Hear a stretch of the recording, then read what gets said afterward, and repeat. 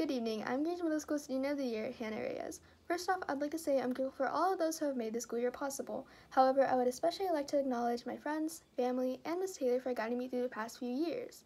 Although the future is difficult to imagine during this time, I'm confident in saying that my peers and I will be able to persevere through whatever it holds with the help of the FSUSD.